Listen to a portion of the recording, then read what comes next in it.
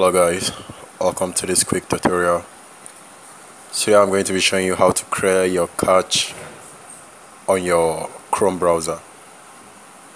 Actually on your mobile iphone. Now click on your chrome.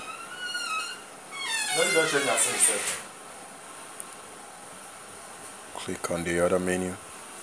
Then scroll down. Sorry scroll up to history. Click on the history button now you can see all the history and everything I've done so far. So just click on the clear browsing data. Now you can go ahead and check all the selections so that it will delete everything for you. So I don't need anything. If you need something probably the cached image you can actually leave them. Just uncheck uncheck uncheck. And note that whichever thing you check here would delete actually all you've done so far. So let's go ahead and do that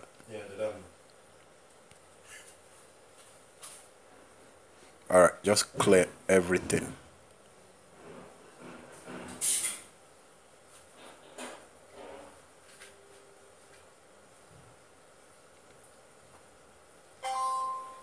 Alright, for some reason this and did not clear.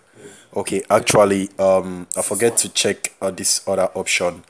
The option that says time range. Click on the time range and just select all time. Now, once you've done that, go ahead and click clear data.